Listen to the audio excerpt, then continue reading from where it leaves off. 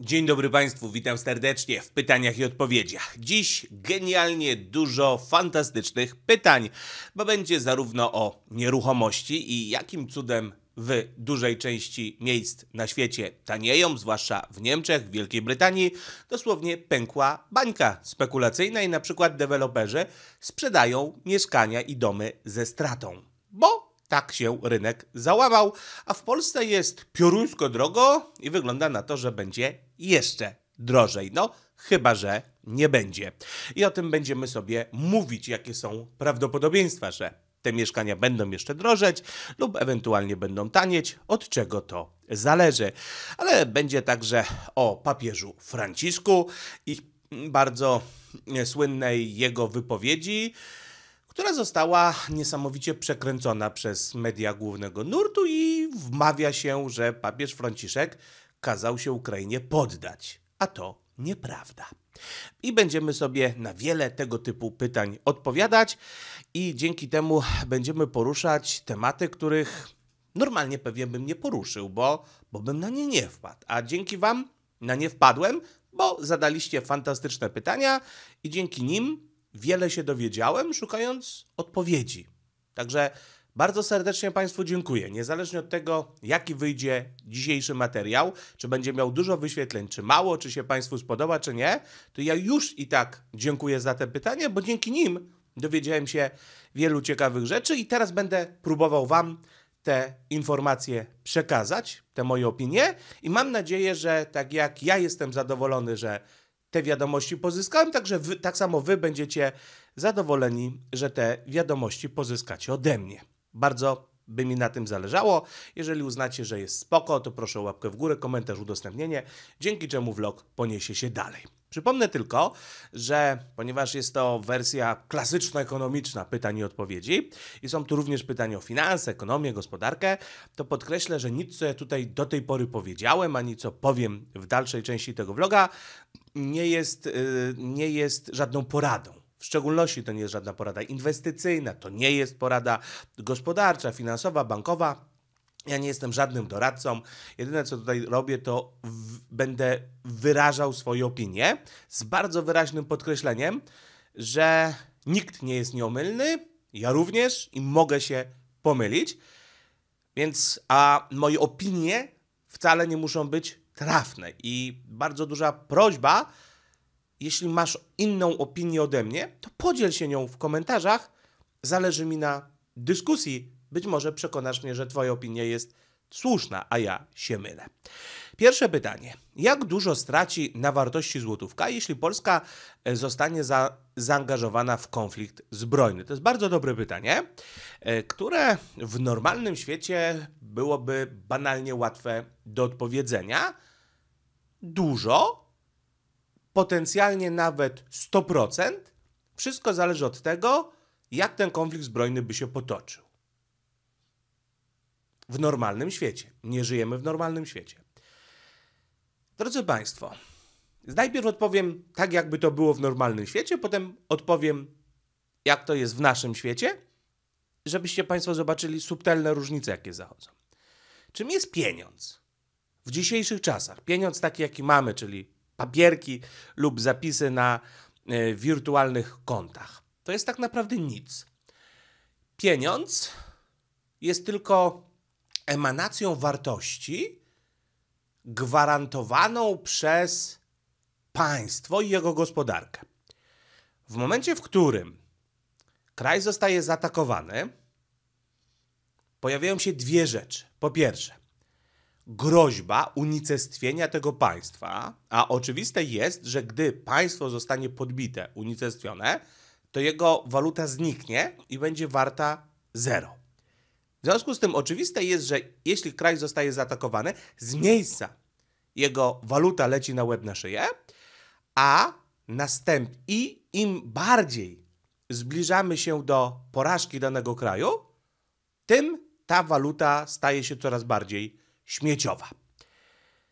To jest jeden, jedna kwestia. Druga kwestia jest taka, że mówi się, że siła waluty odzwierciedla siłę gospodarki danego kraju. W momencie, w którym jakaś gospodarka ma fizycznie niszczoną, znaczy, przepraszam, jakiś kraj ma fizycznie niszczoną gospodarkę, na przykład nalotami, albo bombardowaniem, albo atakami rakietowymi, jest oczywiste, że skoro ta gospodarka słabnie jest zniszczona, to i siła nabywcza pieniądza spada. Czyli tak na dzień dobry na wjeździe jest kilkadziesiąt procent w dół i tak aż do zera w przypadku ewentualnej przegranej. Również dlatego, że rząd, starając się sfinansować różne projekty wojskowe, na stówę będzie dodrukowywał pieniądze, w związku z tym no, wywoła inflację. To jest oczywiste, że taka gotówka bardzo mocno spada. Ale zapewne dlaczego to pytanie powstało? Ano, zapewne dlatego, że Ukraina, która została zaatakowana przez Rosję, wcale nie miała jakiegoś wielkiego zjazdu na wartości chrywny. Prawda? No, chrywna jakoś nie poleciała na łeb na szyję, tak? Trochę, a potem nawet zdarzało się jej iść do góry, nie? Skąd to się wzięło? Ano z tego, że hrywna była bardzo mocno wspierana. W mojej ocenie na przykład przez Narodowy Bank Polski, który w pewnym momencie e, ratował chrywnę kosztem złotówki, robiąc coś, co można odebrać jako wprowadzenie sztywnego kursu wymiany chrywny względem złotego. I w związku z tym chrywna została niejako zakotwiczona do złotego. Ktoś, kto miał chrywnę, wiedział, że nawet jak będzie jakoś fatalnie szło na froncie, to sobie wymieni tą chrywnę na złotówkę, na złotówka ma kurs jaki ma. I dlatego w moim przekonaniu, moim zdaniem na polityczne zlecenie pisowców, Narodowy Bank Polski w mojej ocenie podjął decyzję ratowania kursu chrywny kosztem kursu złotego. Więc, drodzy Państwo, może tak być, że w przypadku władowania nas konflikt zbrojny, złotówka by straciła bardzo mało, nie straciłaby, lub nawet okresowo mogłaby zyskać. Wszystko zależałoby od tego, czy znalazłby się jakiś bank centralny, który kosztem waluty, którą reprezentuje, zechciałby wspierać złotówkę. Moim zdaniem by się nie znalazł. Ale różnie mogłoby być. Różnie mogłoby być. Do tego jeszcze pamiętajmy, że tak naprawdę kursy walut to wyznaczają. Mm, e, wyznaczają prawo popytu i podaży. Kto chce kupić tą walutę, kto nie chce kupić.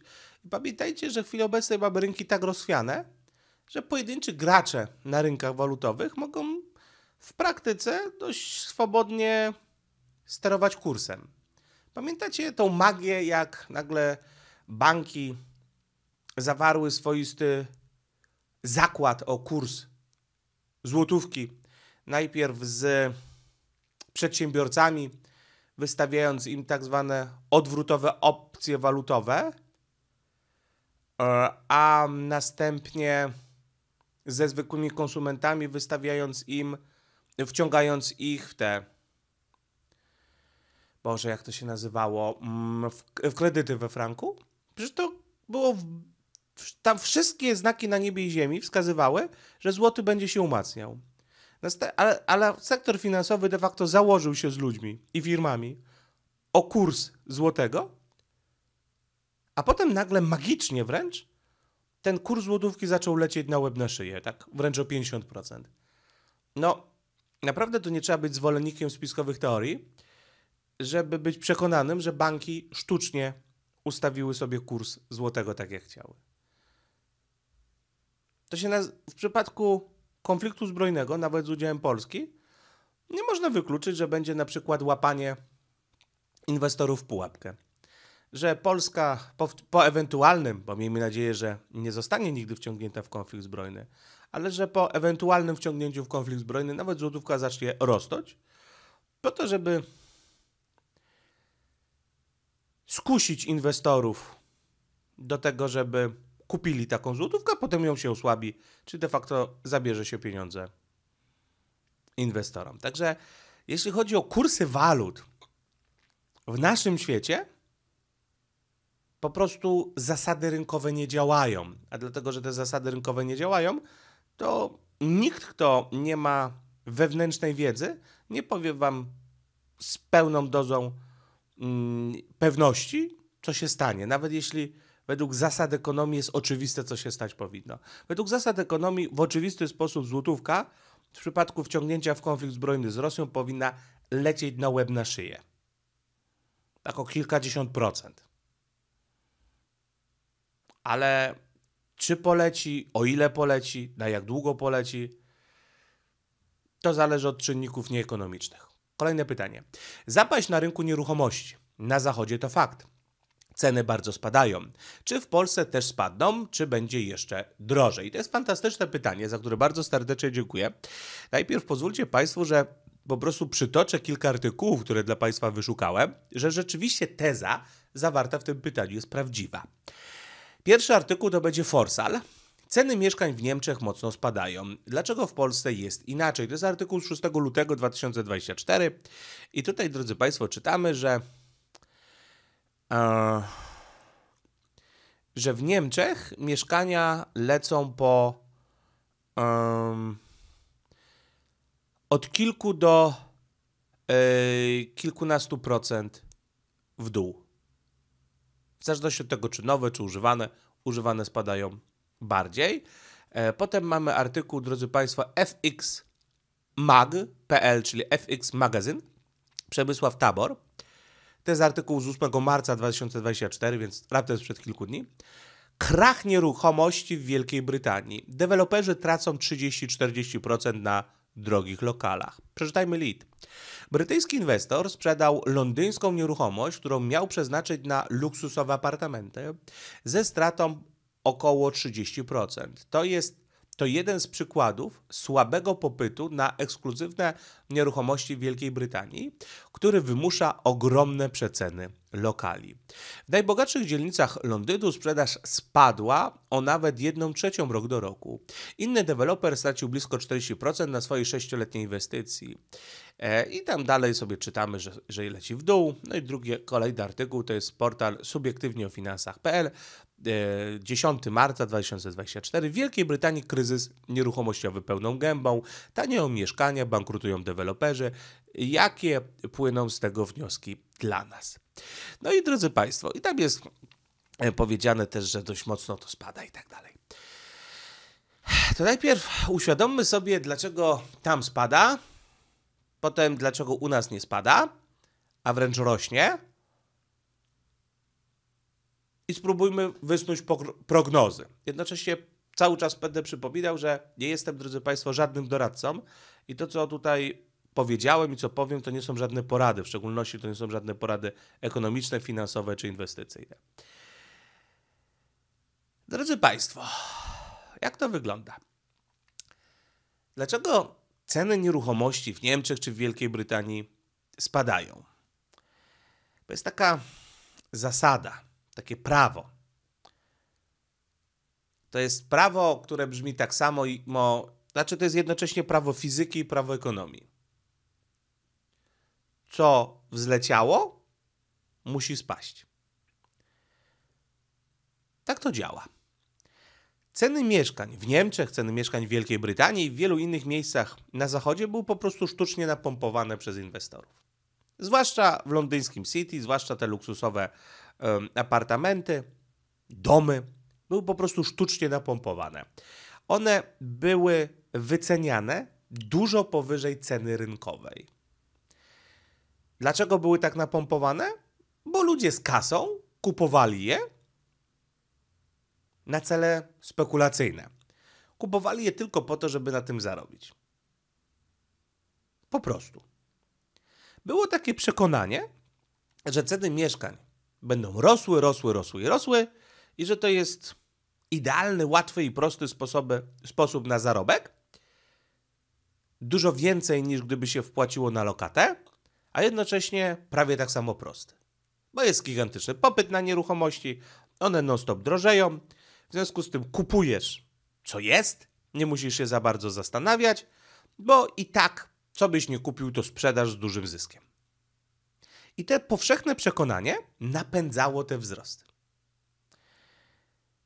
Bardzo podobnie było w pierwszej dekadzie lat 2000 w Stanach Zjednoczonych, gdzie te ceny tak na nieruchomości rosły, rosły, rosły, rosły, rosły, więc bardzo dużo ludzi je kupowało właśnie tylko z tego powodu, że rosły. Nawet nie po to, żeby tam mieszkać. Całe osiedla były budowane de facto tylko pod inwestycje. Dlaczego był krach w, Wielkiej Bry- w Stanach Zjednoczonych? To pamiętamy. Zrobił się krach na. em, zrobił się krach na. e, To znaczy, zrobił się krach na rynku nieruchomości i nagle to przekonanie, które pchało ludzi do zakupów, czyli to przekonanie, że ceny będą tylko rosły, zmieniło się w przekonanie, że będą taniały. W związku z tym ludzie, którzy wcześniej tylko kupowali, kupowali, kupowali, zaczęli nagle wyprzedawać. Z bardzo dużego popytu i małej podaży nagle zrobiła się sytuacja odwrotna, czyli bardzo duża podaż, a mały popyt. No i dlatego cele, ceny poleciały na łeb na szyję. I w Niemczech, w Wielkiej Brytanii zaczyna się dokładnie to samo, co w Stanach Zjednoczonych. Zaczyna się odwrócenie trendu. Tak jak ceny zostały napompowane z powodów pozarynkowych, nie dlatego, że nagle się zrobiła wielka koniunktura, że na przykład gospodarka zaczęła bardzo mocno iść do przodu, ludzie zaczęli mieć dużo pieniędzy, w związku z tym pomyśleli, że pokupują sobie większe mieszkania i dlatego zrobił się popyt na mieszkania, bo ktoś mieszkał w kawalerce, a teraz chciał sobie mieszkać w trzypokojowym. Ktoś mieszkał w trzypokojowym, to teraz chciał pie- pięciopokojowy apartament. Ktoś mieszkał w pięciopokojowym apartamencie, to sobie teraz chciał kupić jakąś willę. To by były naturalne procesy. A tu nie było naturalnych proce- procesów. Ludzie z gigantyczną kasą kupowali nieruchomości z, z przekonania, że na tym zarobią. A teraz nastąpiło przekonanie, że już się na tym nie zarobi, tylko że się na tym straci. I dlatego ci, którzy kupowali, nagle się wyprzedają. W związku z tym zaczyna się robić duża podaż, bo dużo ludzi chce sprzedać, a mały popyt, bo już ludzie z kasą nie chcą kupować i dlatego ceny spadają. Polska. W Polsce mieliśmy nie tylko szansę, ale wręcz mieliśmy początek tego samego trendu w 2020 roku. Niestety politycy sprawili, że zamiast spadku cen mieszkań względem cen z 2019 mieliśmy gigantyczne wzrosty. Może wytłumaczmy, co było. Drodzy Państwo, ceny mieszkań z 2018 roku, które dzisiaj dla typowego Polaka brzmią jak marzenie, bo można śmiało powiedzieć, że w takich lepszych lokalizacjach, na przykład w Warszawie, w Sopocie, dziś ceny mieszkań względem 2018 roku mamy już 100% w górę. Ale obiektywnie już te ceny z 2019 roku były to ceny wysokie. Były to ceny już nierynkowe, były to ceny niepodyktowane wzrostem siły nabywczej pensji czy wzrostem zarobków. Były to ceny niepodyktowane wzrostem zamożności społeczeństwa, tylko to były ceny już podyktowane spekulacją. Już wtedy, w 2019 roku, było dość sporo ludzi, którzy miało kasę na tyle dużo, że kupowali bardzo duże ilości mieszkań. Na przykład jeden mój klient, bardzo bogaty człowiek, pracuje dla niego przy pewnych, powiedzmy, projektach te- wysokich technologii. No, regularnie sobie kupuje ki- po kilka mieszkań na wynajem. Tak jak wiecie, ja na przykład kupuję klocki Lego dla córki, bogaci ludzie czasem kupują sobie nowy samochód, to sobie kupuję kilka mieszkań. Ma do tego pełne prawo, zarobił te pieniądze. Po prostu zarobił. I, nie, nie chci- I to jest sposób na przykład odkładania na emeryturę, że kupuje sobie ileś tam mieszkań po to, żeby na emeryturze na przykład żyć z wynajmu czy coś takiego. Nie? Ma do tego pełne prawo, nie robi nic złego. Ale takich ludzi było dość dużo, bo w Polsce jeszcze od czasów PRL-u, panowało przekonanie, i do dzisiaj panuje, że nieruchomości to jest fantastyczny sposób na inwestycje. Nie dość, że ceny rosną, to jeszcze na wynajmie można zarobić, to jest bardzo dobry sposób na taki prawie że pasywny dochód. Od razu mówię, że to jest przekonanie nieprawdziwe. Dochód z wynajmu mieszkań jest bardzo daleki od dochodu pasywnego. Jak masz mieszkania na wynajem, zwłaszcza kilka, to to jest naprawdę ciężki kawałek chleba, żeby obsłużyć ten wynajem. Ale to jest temat na zupełnie inną, e, inną kwestię, bo jeśli chodzi o kwestię wzrostu i spadków cen nieruchomości, to tutaj mamy, to tutaj te poczucia tak naprawdę się liczą, a nie, e, a nie te kwestie związane ze stanem faktycznym. Mówiąc krótko, już wtedy, gdy w 2019 roku sporo mieszkań stało pustych, bo bogaci ludzie kupowali je sobie albo pod wynajem, albo po prostu po to, żeby stało i nabierało wartości, czyli pod spekulację. W 2020 roku, na początku 2020 ro- roku, jak zaczęła się zaraza, ceny mieszkań zaczęły lecieć gwałtownie w dół. Gdyż zadziałały rynkowe mechanizmy w sytuacji, w której były objawy kryzysu, możliwe było, że będzie bezrobocie, no i typowy kryzys. W związku z tym ceny nieruchomości zaczęły lecieć w dół. I gdyby wtedy politycy nie niszczyli, nie przeszkadzali, nic nie robili, to ceny mieszkań dziś mielibyśmy około 70% cen względem 2019 roku. Czyli powiedzmy, że w 2019 roku jakieś mieszkanie kosztowało 10 tysięcy z metra, to by teraz kosztowało 7 tysięcy z metra. No ale ponieważ politycy zaczęli robić to, co robili, zaraz sobie powiemy co, to to mieszkanie, które kosztowało 10 tysięcy z metra, dziś kosztuje 20 tysięcy z metra, a mogłoby kosztować 7. Także drogi Polaku, droga Polko, jeśli musisz brać kredyt na pół miliona złotych, żeby kupić sobie kawalerkę w Warszawie, to podziękuj politykom, bo to jest 100% ich winy. Co zrobili politycy? 2020 rok. Wpompowali gigantyczne ilości, ale w miliardach, to były setki miliardów, pustych pieniędzy w, w gospodarkę. Setki miliardów pustych pieniędzy wpompowali w gospodarkę. Jednocześnie obniżyli stopy procentowe prawie do zera. Do tego stopnia, że na przykład przedsiębiorcom banki nie chciały w ogóle lokat zakładać. Ale i to nawet nie chodziło o to, że na jakiś sensowny procent, tylko w ogóle, bo im się nie opłacało, bo po prostu pieni- po prostu była nadpłynność. Banki miały dużo więcej pieniądza niż potrzebowały, firmy miały dużo więcej pieniądza niż potrzebowały. Po prostu Glapiński z Morawieckim zrobili wrrr, maszynce do drukowania pieniędzy, w cudzysłowie nadrukowali setki miliardów, które wpierdzielili w rynek. To nie miało kompletnie żadnego pokrycia w, y, w realnej gospodarce, czyli nie było na te pieniądze pokrycia w towarze, rozpętali inflację. Nie Putin, tylko Glapiński z Morawieckim i cała ta pisowska gra, zgraja. Te pieniądze w dużej części trafiły do tak zwanych przedsiębiorców. Zwłaszcza średnie firmy podostawały gigantyczne miliony złotych praktycznie za nic, bo jakiś kompletny niedołóg albo cynicznie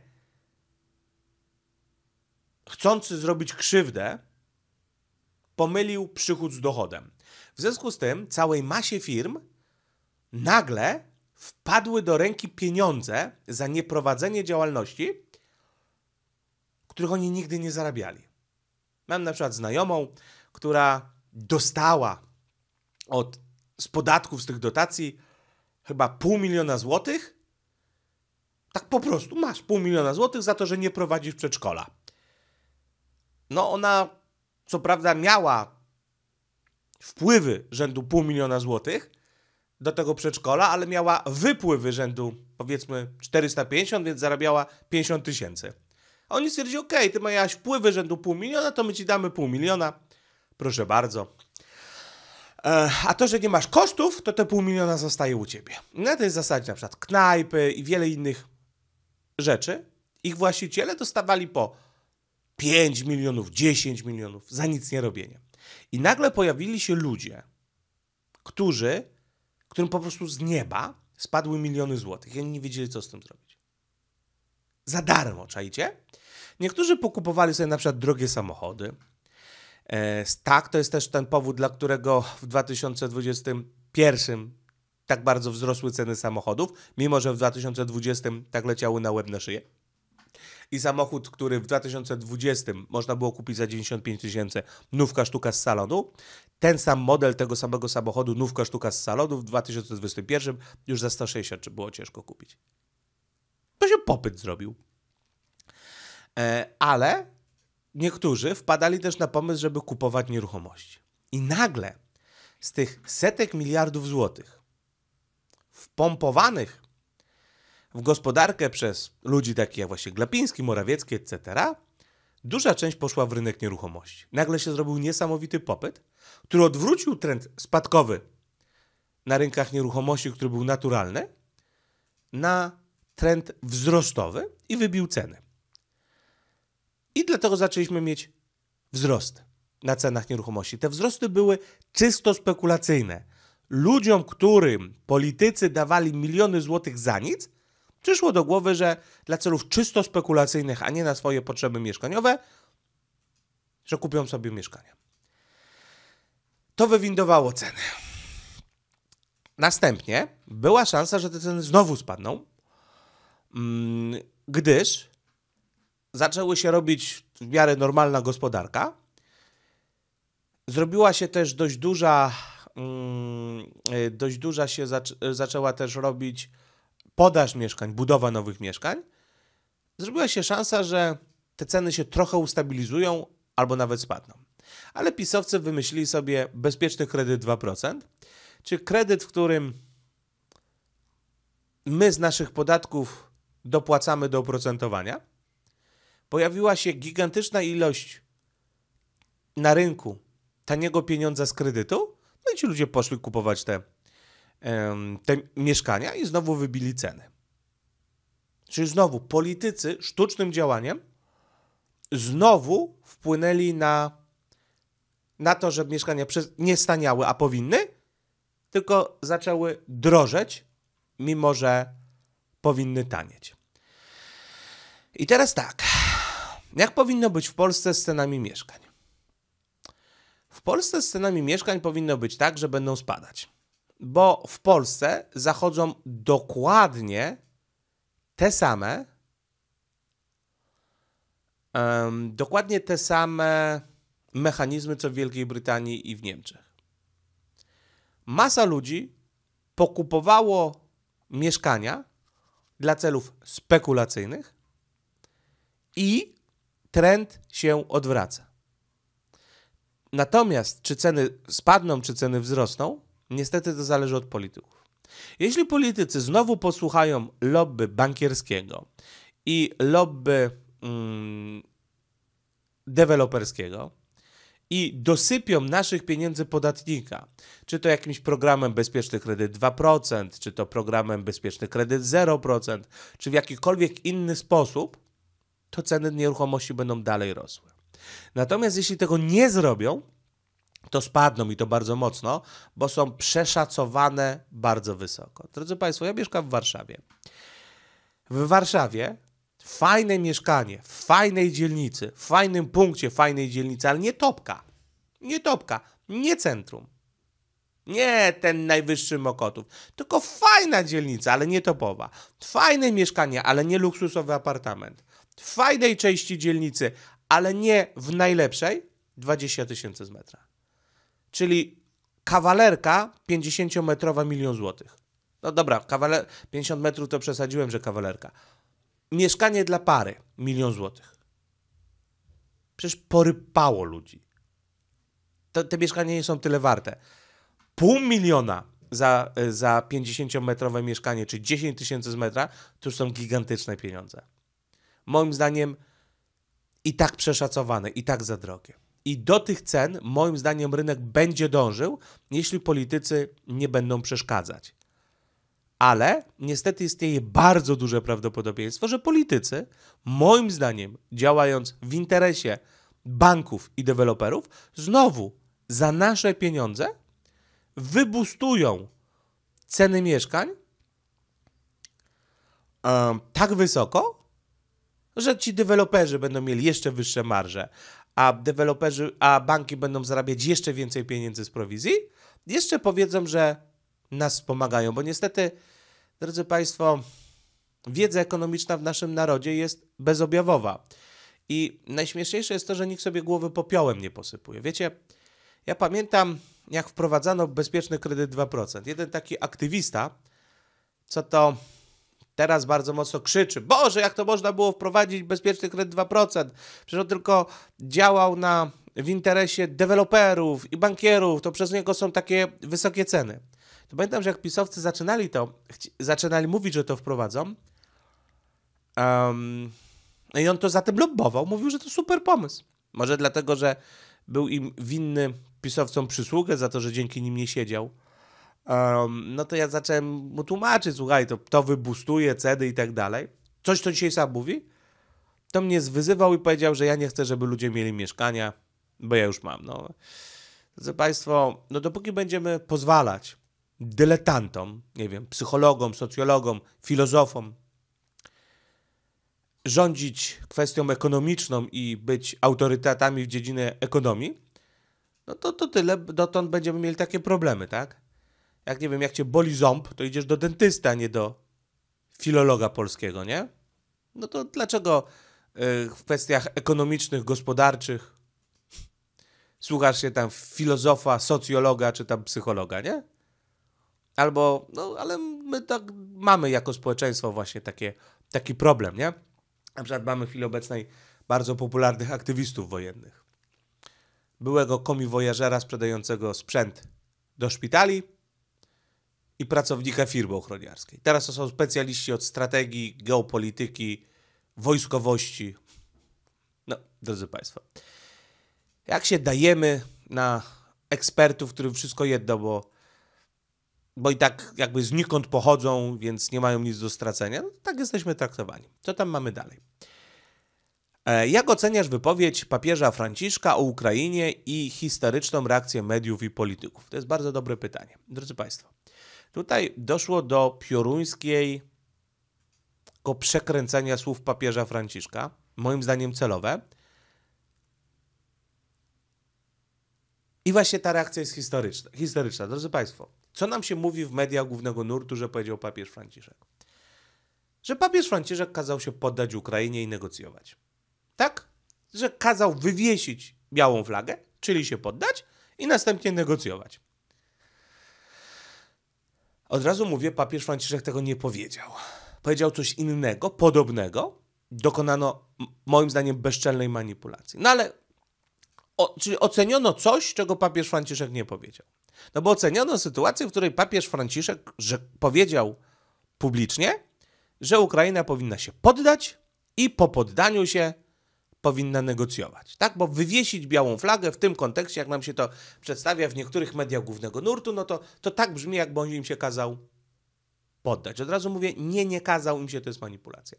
No ale gdyby tak zrobił, to oczywiście byłoby to bez sensu. Z wielu powodów. Najważniejszy i taki jest, że no nie możesz się poddać, a potem negocjować.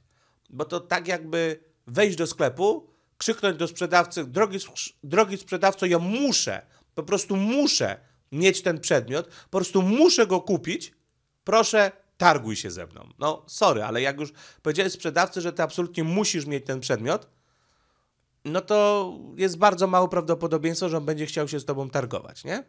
No z drugiej strony są ludzie, którzy tak się zachowują, na przykład rząd pisowski na zakupach uzbrojenia w Stanach Zjednoczonych, nie? Więc może tutaj papież Franciszek też byłby tak nierozsądny, że kazałby Ukrainie najpierw się poddać, a potem negocjować pokój. No, no nie.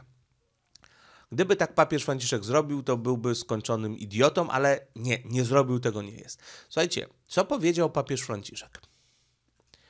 Papież Franciszek powiedział: Kiedy widzisz, że jesteś pokonany, że sprawy nie układają się dobrze, musisz mieć odwagę negocjować, powiedział papież Franciszek.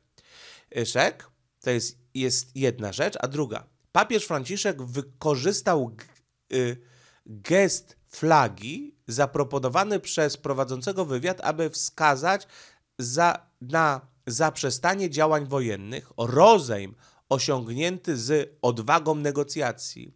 Ma nadzieję na dyplomatyczne rozwiązanie sprawiedliwego i trwałego pokoju.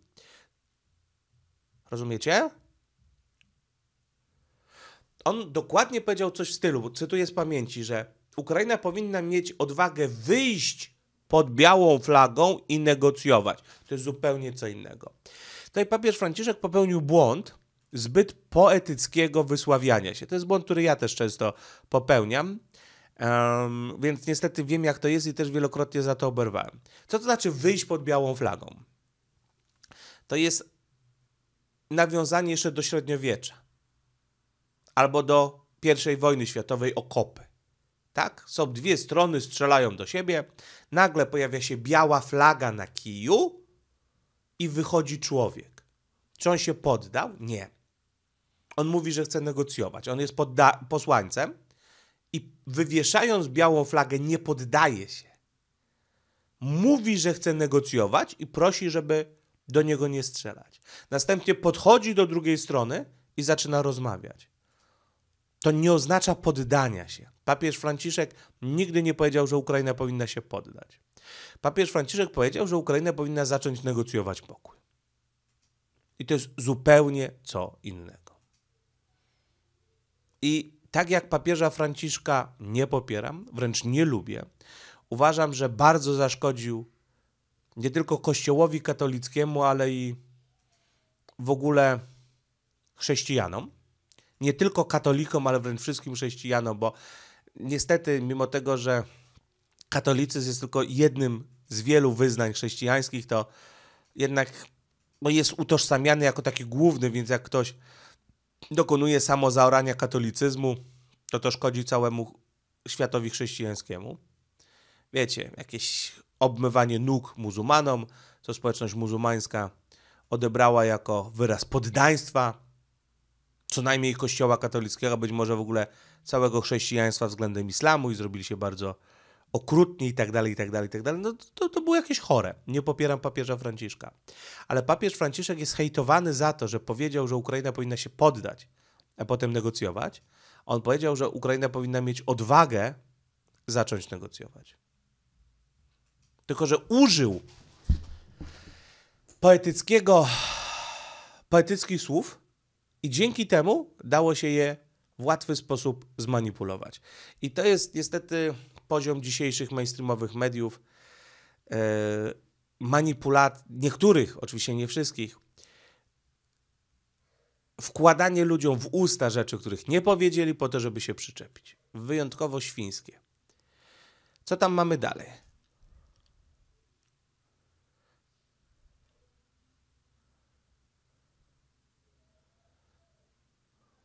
Czy możesz omówić z onkologiem dane zachorowań na raka w Polsce i na Ukrainie przed W, abyśmy wiedzieli o jakiej skali niebezpieczeństwa zbóż mówimy? E, to raczej nie z onkologiem, tylko raczej ze statystykiem.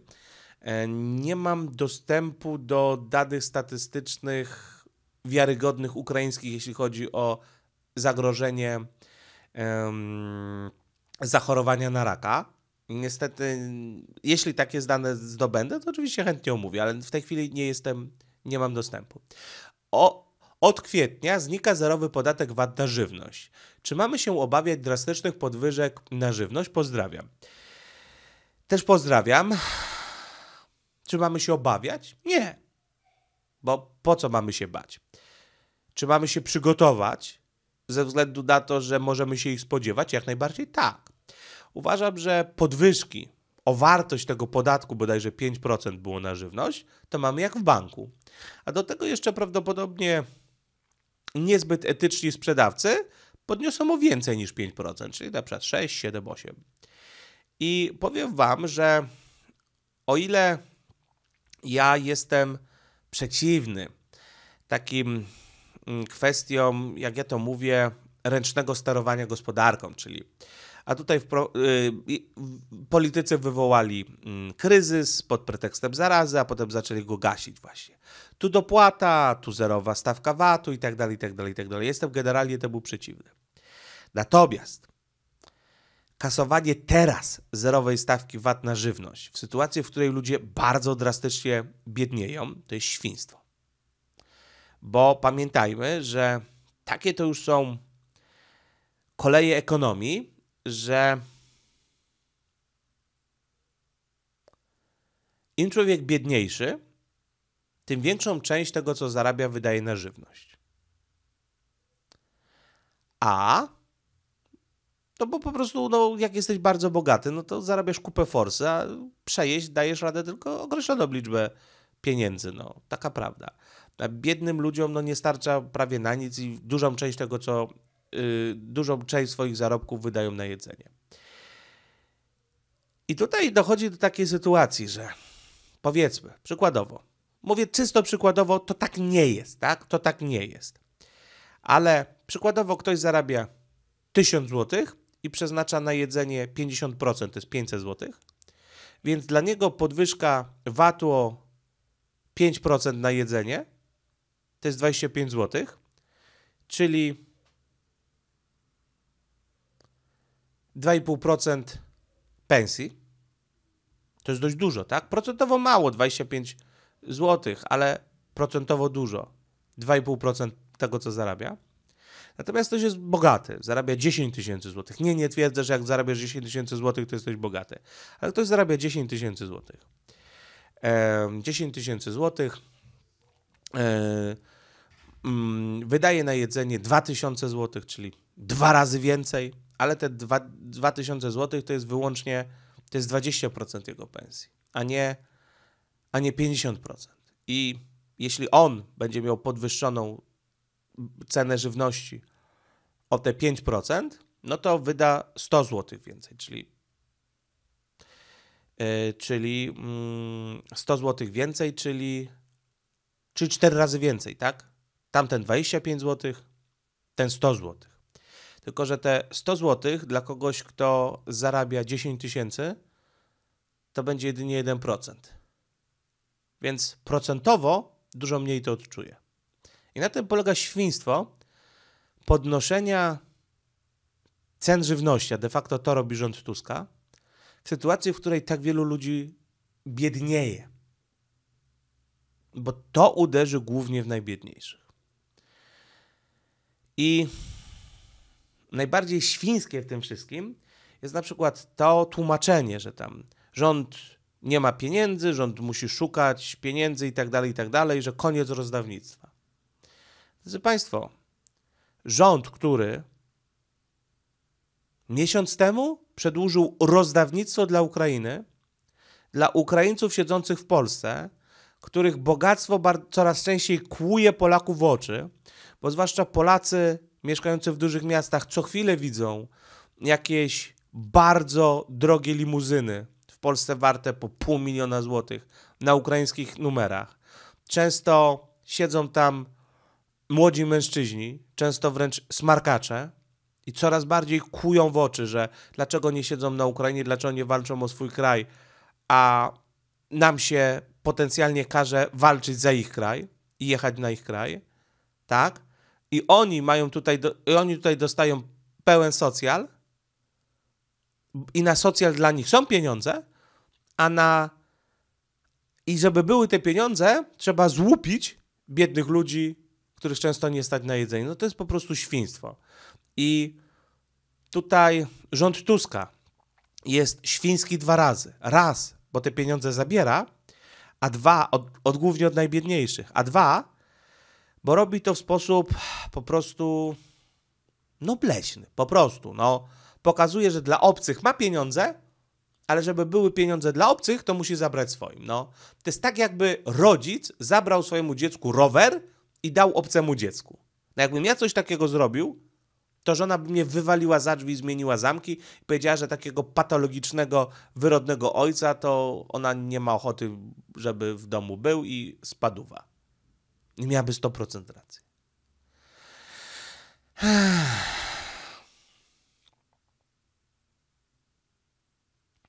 Czy list z WCR, czyli Wojskowe Centrum Rekruta Rekrutacji, można zwrócić do nadawcy? Ktoś forsował taki pomysł na wymiganie się od ćwiczeń wojskowych. Słyszałeś o tym? Tak, słyszałem o tym. Eee, mecenas Katarzyna Tarnawa bardzo mądrze to skwitowała, że jest to jeden z najgłupszych pomysłów, jaki można zrobić. Ja skwituję to do, dosadniej. Albo jest to jeden z najgłupszych pomysłów, na jaki ktoś wpadł, albo jest to celowa, celowe wprowadzanie ludzi w błąd po to, żeby ich łatwiej było przymusowo wziąć do wojska. Czyli, bo ciężko mi uwierzyć, że ktoś mógł wymyślić aż tak głupi pomysł. Niestety jest bardziej prawdopodobne, że ktoś celowo wprowadza ludzi w błąd po to, żeby im zaszkodzić. O co chodzi, drodzy Państwo? W Polsce jest domniemanie doręczeń. List z WCR przychodzi listem poleconym. Musisz pokwitować jego odbiór. Więc jeśli go chcesz zwrócić do nadawcy, no to jak go zwrócisz do nadawcy? Żeby go zwrócić do nadawcy, musisz go najpierw odebrać, tak? No to podpisujesz, że go odebrałeś. Więc to, podpiszesz, że go odebrałeś, a potem go zwrócisz do nadawcy, czyli pokwitujesz, że ty go odebrałeś, a potem zwrócisz go do nadawcy, bo powiesz, że trafił do niewłaściwego adresata? No, no tak to nie działa. Drugi sposób, który jest lansowany w mediach, to nieodbieranie przesyłki poleconej. I stwierdzenie, po prostu powiedzenie, um, powiedzenie listonoszowi, że nikt taki tutaj nie mieszka, w Polsce nie ma obowiązku meldunkowego. E, nie ma obowiązku meldunkowego, więc mówisz listonoszowi, nikt taki tutaj nie mieszka i myślisz, że sprawa załatwiona. Otóż nie jest załatwiona, drodzy Państwo. Takie rzeczy przechodziły za PRL-u, bo w Pol teraz nie ma obowiązku meldunkowego, ale pamiętaj, że ty jesteś zobowiązany powiadomić swój WCR o każdym jednym zmianie miejsca zamieszkania. I teraz tak, jak oni ci przyślą listem poleconym wezwanie i ty na te wezwanie się nie stawisz, a to wezwanie do nich po prostu sobie wróci, no to to jest tak, jakbyś odebrał. Co się stanie następnie? Przyjdzie do ciebie policja i cię przymusowo doprowadzi. Jeśli odbierzesz takie pismo, masz szansę jeszcze zadziałać. na przykład odpisać im na te pismo, że z jakiegoś powodu nie możesz się stawić na ćwiczenia. Na przykład wykorzystać dobrodziejstwo ustawy o obronie ojczyzny, y, które pozwala mm, dla, y, które tam jakby wyłącza ludzi z obowiązku obrony Rzeczpospolitej, ludzi, którzy mają małe dzieci, bodajże do ósmego roku życia, ale nie włącznie, tylko do, czyli siedmiolatka maksymalnie. No i mówisz, że sprawuje opiekę nad siedmiolatkiem, czy sześciolatkiem, czy pięciolatkiem. Tam nie ma mowy o opiece wyłącznej, tylko że sprawujesz opiekę. Więc to, że twoja żona też sprawuje opiekę i mogłaby na przykład z dzieckiem zostać w domu, a ty byś poszedł na te ćwiczenia, nic nie zmienia. Porucznik Powałka ostatnio tak się wymiksował z ćwiczeń. Dostał um, wezwanie na ćwiczenia rezerwy, powiedział, że ma małe dzieci. On normalnie jest żonaty. No i, i to przeszło, tak? Powiedzieli, że okej, okay, nie musi iść na te ćwiczenia. Więc to przechodzi. Można też się zasłonić na przykład stanem zdrowia. Na wiele, różne, wiele różnych sposobów można działać. Natomiast jak nie odbierzesz, to sobie kasujesz możliwość działania. Ja osobiście to bym tak zrobił, gdybym dostał takie pismo. Bo tutaj żadnych porad nie daję, ja tylko mówię swoją opinię, jak moim zdaniem najlepiej zrobić. Przychodzi ci awizo z poczty. No to wiesz skąd ci to awizo przychodzi. Na awizie masz numer. Możesz sobie możesz sobie po numerze sprawdzić, gdzie to było nadane. Generalnie WCR-y nadają w, konkretnych placówkach pocztowych. Jak ci przyjdzie, zresztą, zresztą zwykle listonosze na tych awizach tam nawet piszą, że to jest WCR albo WKU jeszcze po staremu czasem piszą. Dostajesz awizo. Masz 7 dni na odebranie awiza, nie odbierzesz, to będzie powtórna awizacja, drugie 7 dni. W sumie masz 14 dni na odebranie awiza. W tym czasie idź do adwokata albo do radcy prawnego i powiedz, że czeka na ciebie awizo na poczcie. Z WCR-u, masz taką i taką sytuację co masz robić. I to jest moim zdaniem najbardziej profesjonalne podejście, żeby w sprawach dotyczących prawa słuchać profesjonalistów, a nie jakichś ludzi z internetu, którym się wydaje, lub którzy, i niestety źle im się wydaje, e, lub ludzi, którzy no, świadomie na przykład, nie wiem, są przekupieni albo w jakiś sposób działają w taki, żeby, żeby więcej ludzi do tego woja szło, tak? No bo przypomnę, no nie odbierzesz, przyjdzie po ciebie policja, doprowadzi cię, to już wtedy no nie ma dyskusji, tak? I pamiętaj, że ja na przykład jestem po prawie, ale ja ci nie powiem generalnie, co robić, tylko mówię generalnie to idź do adwokata albo do radcy prawnego, bo każda sytuacja jest inna. Porada adwokacka radcy prawnego w chwili obecnej kosztuje kilka stów. Uważam, że warto po prostu się spytać. Nie o, o przepisy, bo przepisy sobie możesz w Google sprawdzić, tylko co w praktyce warto zrobić w danej sytuacji. O, drodzy Państwo,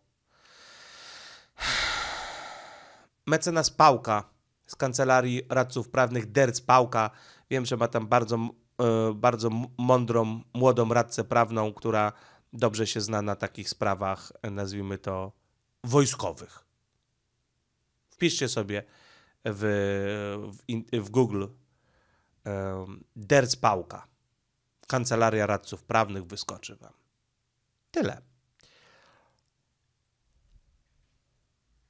Ale oczywiście, jak możecie iść do dowolnego radcy prawnego lub do dowolnego, do dowolnego adwokata, to nie jest żadna reklama, że się tak wyrażę. Żadna. Mecenas Tarnawa mm, na swojej stronie też ma chyba mm, jakiś poradnik, przy czym powiem szczerze, nie czytałem więc, więc nie mogę ocenić, czy, czy dobra, czy zła, natomiast z usług kancelarii mecenasa Pałki to korzystałem i jestem bardzo zadowolony. Ale na pewno pani mecenas też jest dobra, tylko po prostu nie czytałem. No, mecenas Tarnawa przecież występowało u nas na kanale parę razy. Bardzo kumata osoba. Co tam mamy dalej?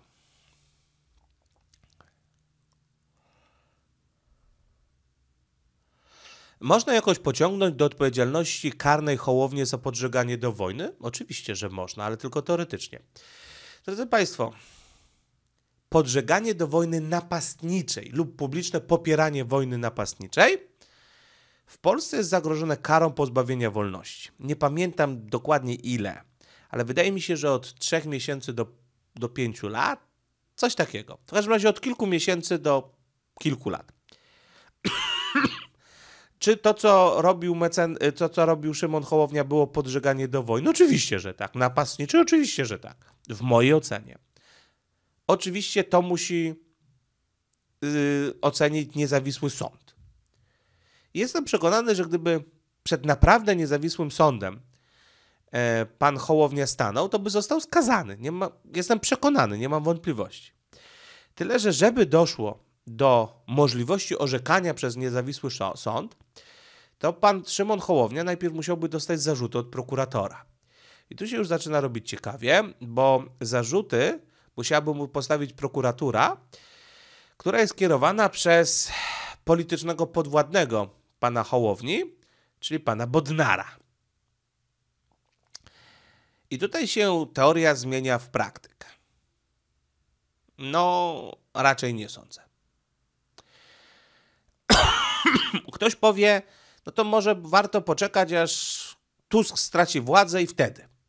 No, drodzy Państwo, przypomnę, że mm, Tuskiści, te wszystkie partie, czy większość tych partii, które teraz tworzy rząd Tuska, szło do zwycięstwa politycznego pod hasłem rozliczymy PiS, PiS pójdzie siedzieć. Lewica nawet twierdziła, że ma gotowe akty oskarżenia.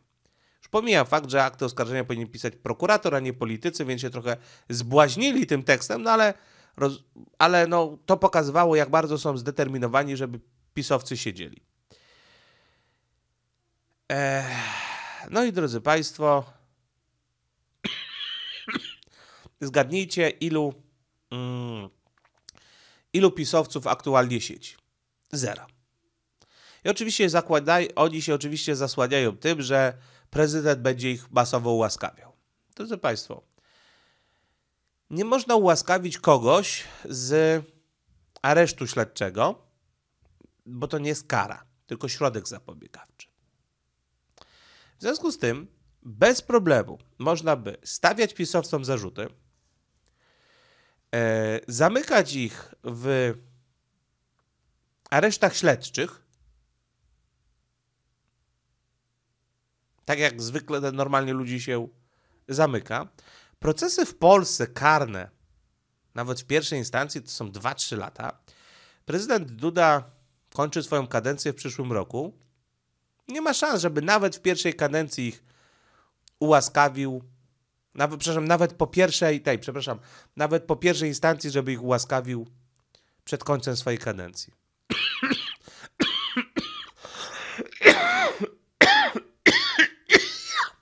Przepraszam. Więc to, że aktualnie liczba siedzących za kratkami pisowców jest zero, wynika moim zdaniem, w moim przekonaniu tylko dlatego, że po prostu rząd Tuska tego nie chce.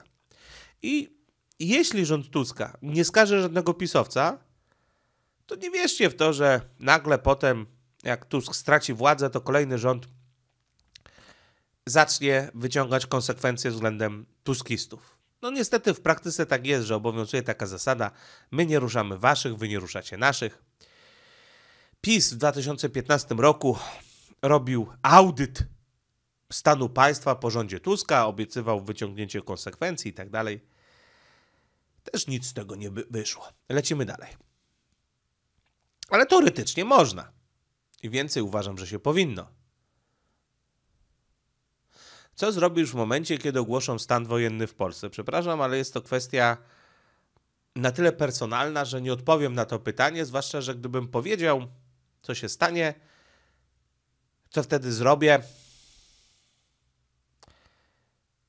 to niedobre by było. Przepraszam, no, no nie mogę powiedzieć. Co z poborem na ćwiczenia wojskowe? Jak wygląda dziś sytuacja osób pasywnej rezerwy? Masz jakieś świeże info o poborze z pasywki? Drodzy Państwo, pobór z pasywki to jest bardzo ciekawa sprawa. To jest coś, czego formalnie nie ma, w praktyce jest. W Polsce formalnie nie ma przymusowego poboru do wojska. W Polsce mamy dobrowolną, zasadniczą służbę zawodową. Eee, obowiązkowa jest zawieszona. Ale każdy, kto jest w pasywnej rezerwie, a uwaga, w pasywnej rezerwie jest każdy człowiek z nadaną kategorią wojskową, łącznie z D. Nie wiem, jak jest z E, ale z D na pewno jesteś w pasywnej rezerwie. I wystarczy, że byłeś na komisji kwalifikacyjnej, dali ci kategorię.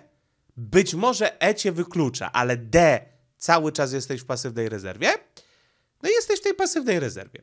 Jak jesteś w pasywnej rezerwie, to można ciebie wziąć przymusowo na ćwiczenia. Nawet na 90 dni rocznie. 90 dni to jest około 3 miesiące, rok ma 12 miesięcy, czyli co roku na około, nawet na 1 czwartą roku można przymusowo brać każdego człowieka z książeczką wojskową być może inną niż E i tutaj uwaga też D, na przymusowe ćwiczenia. Być może jest tak, że, że e, z E nie jesteś w ogóle w pasywnej rezerwie, tego nie wiem. Z D jesteś w pasywnej rezerwie, ale nie można ciebie brać na ćwiczenia wojskowe, ale można ciebie brać na przymusowe ćwiczenia inne niż wojskowe, na przykład wcześniej wpierdzielając ci różne przydziały. To jest dość skomplikowana kwestia prawna, mało czasu zostało. Może kiedyś uda mi się to omówić dokładnie, ale z grubsza można brać. I podobno w tym ro roku znowu już się zaczynają brać. Po prostu jest zbyt mało chętnych do woja, w związku z tym biorą przymusowo. Ale formalnie to nie jest. Formalnie, drodzy Państwo, e, to, to nie jest pobór, bo oni działają sprytnie. Najpierw wzywają takiego delikwenta i dają mu przydział mobilizacyjny. No i potem, jak już mu wpierdzielą ten przydział mobilizacyjny, a przydział mobilizacyjny można wpierdzielić także cywilowi, czyli człowiekowi, który nigdy nie był w wojsku. Wpierdzielają mu taki przydział mobilizacyjny, no i potem ogłaszają ćwiczenia tej, tego czegoś, do czego masz przydział mobilizacyjny, cię biorą na przymusowe ćwiczenia. Znam ludzi, cywilów, którzy nigdy nie byli w wojsku, nawet ludzi z kategorią D, którzy mają przy, przydziały mobilizacyjne. I takiego człowieka w każdej chwili można wziąć do woja. Jeśli. Przy czym takiego z D chyba nie do jednostki, tylko na przykład do jednostki zmilitaryzowanej. To jest coś podobnego, ale nie do końca to samo. Natomiast znam ludzi z kategorią A, którzy nigdy nie byli w wojsku, których ciągają na, którym wpierdzielili y, kartę mobilizacyjną i regularnie ich biorą na ćwiczenie. I teraz tak, po pierwszym ćwiczeniu każą ci złożyć przysięgę. I teraz tak, jak cię wezmą na takie przymusowe ćwiczenia, ustawa o obronie ojczyzny pozwala każdego, również 18-latka wziąć. Każdego z taką książeczką. Wezmą cię na takie ćwiczenia. Um, wezmą cię na takie ćwiczenia. Po tych ćwiczeniach każą, jak, jak nie pójdziesz, to przychodzi policja, za to jest odpowiedzialność karna, za uchylanie się od takich ćwiczeń. A jak pójdziesz, to po skończonych ćwiczeniach każą ci złożyć przysięgę. Absurd, tak? Każą ci złożyć przysięgę. Każdy, kto zna prawo, wie, że przysięga złożona pod przymusem jest. nie ma mocy prawnej, tak? Bo ma wadę pod tytułem złożona pod przymusem. Przysięga złożona pod przymusem to tak jak podpis na umowie złożony pod przymusem. No w sposób oczywisty wada oświadczenia woli. Ale tutaj jakoś nikt o tym nie wie, nikt nie rozumie, więc każą ci złożyć przysięgę. Nie złożysz tej przysięgi. No to odpowiedzialność karda, chyba 3 lata więzienia. Złożysz, to, to już jesteś wojskowy, który złożył przysięgę. I tak w Polsce w praktyce przymusowo bierze się ludzi do wojska. Tyle, drodzy Państwo, minęła godzina. Także bardzo, bardzo serdecznie dziękuję. Pozdrawiam. No i co? Zapraszam częściej, ponieważ ostatnio tak dużo tematów, to pewnie i nawet dzisiaj wieczorem będzie. A nie, dzisiaj jest niedziela. Jak to oglądacie, drodzy Państwo, dzisiaj jest niedziela, no to co? O 19 Zielona Poświata. Zobaczymy, czy tym razem też uda się coś przewidzieć. Trzymajcie się, do zobaczenia, pa!